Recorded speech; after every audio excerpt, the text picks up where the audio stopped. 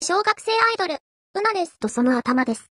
私の初登場から結構経ちましたね。2ヶ月くらいじゃないですかね。なので、実質初投稿です。そのこじり方だと、授業サボりすぎじゃない？せやなー。ほう。小学生アイドル、ゆたぽんだった。そんなことより頭さん、なんです。突然ですが私、提督になっちゃいました。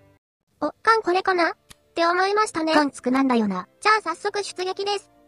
パンツァー4、建造シーンはどこ？どこ？ウト主のせいでチュートリアル並みに長かったので、カットしましたね。そこはユーザーフレンドリーのためには仕方ないんじゃないっすかねい。や、ダメですね。ダメダメです。チュートリアルに関しては AC を見習ってほしいですかね。AC はいきなり戦闘から始まるんだよな。そういえば、チュートリアルで思い出したんですけど、5000兆円脱税した人がいるら、しい。いろいろホッとすぎる話題は NG だぞ。しゃあないなあじゃあ知っておすか。うっす。敵の編成は、備蓄軽順軽順の計3隻ですね。こっち駆逐艦1隻なのに、軽州2隻は、ちょっと厳しくないまあ、敵の AI は基本アホアホなんで余裕ですね。しかもこっちは攻撃駆逐艦なんですよ。というと、選手に6門の76ミリ砲が集中してるんですよ。なんで一番揺れる先っぽに集中配置しちゃったんですかね。ほら戦力の分散は不作だから。誘爆して全部おジョンになりそう。ああ、ここここ。この角度ですよ。何ですか？今敵に最も被弾面積の小さい正面を向いてますね。うん。そんで、選手の艦砲もフル稼働してるので、最大火力でこのまま特艦しましょう。突撃結局、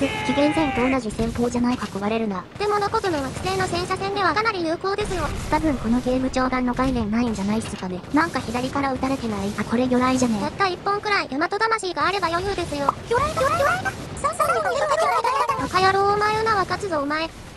攻撃激しくね。敵の射程内に誘い込まれた自分から突撃したんだよな。ここは私の華麗な舵さばきで避けながら突貫しますペイン村。予測変換をそのまま採用するなそ。れは G ボード君に言ってほしいですね。また魚雷来ましたよ。まあこんなのが当たるわけないんですよね。ははい、魚雷って当たるんすね。感心してる場合じゃないと思うんですけど。国庫を言うときは落ち着いてソビエト連邦の構成国を数えましょう。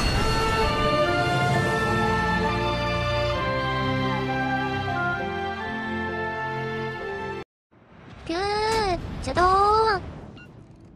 はい。いやはいじゃないが。なんであんなむずいんですか？知らんがな。まあ今日取り直してやっていきましょい。うっす。敵さんは戦艦っぽい。一つ聞いてもいいですかね？ああなんで私たちが生首かってことでしょ？いやまあそれもそうなんですけど。深海ではお級の人をリスペクトしろっておばあちゃんが言ってた。おばあちゃんすごいっすね。見てくださいこのエイム。砲弾が吸い込まれてますよ。そりゃそうよ。素直にエイムできるのは気持ちがいいですね。アク本編に戻るんだよ。アクしろえ。えええまだ一方的に殴られる痛さと怖さを教えられてないのに。カット。あ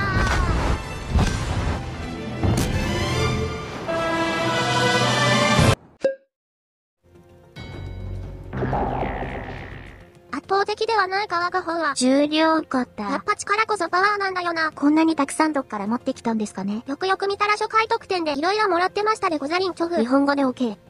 よしじゃあこのつよつよ兵装で、いざ鎌倉。あれ出撃できないなんで。だから積載オーバーなんだよな。まあ、仕方ないので、ボイラー削りますか。え、そんなことしたらまともに動けないんじゃない？速力？そんなもんは犬にでも食わせません。調創される未来が見える見える。なんか一隻増えてません。それは磯丸水産くんですね。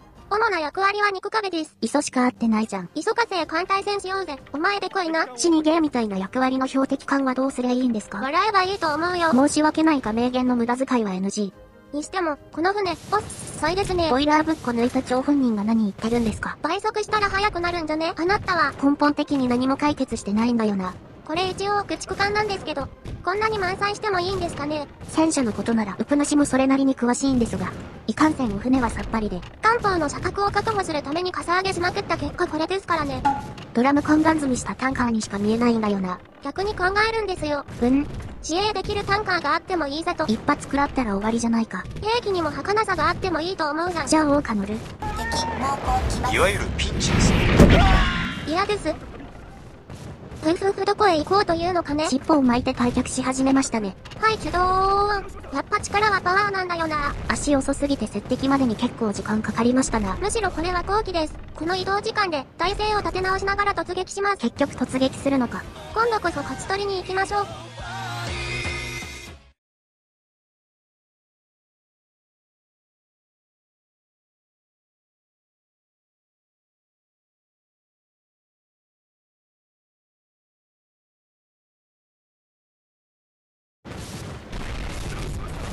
チ検問戦車ダーマヤあれ磯風くんは、彼の速力もクソ雑魚なめくじなんで追いつけてないんですよね。また2対1じゃないか壊れるな。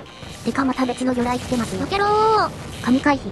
ふう、危なかった。あ、お空が綺麗。何のんきに空なんか見てるんですかね。空の青さを知らなきゃアークブルーにたどり着けなくってよ。あ、あ、天丼やめろ。まあ私はお茶漬け派なんですけどね。何に対して対抗してるんですかね。いやー今回もダメだったよ。逆に考えるんですよ。別に勝たなくてもいいさと。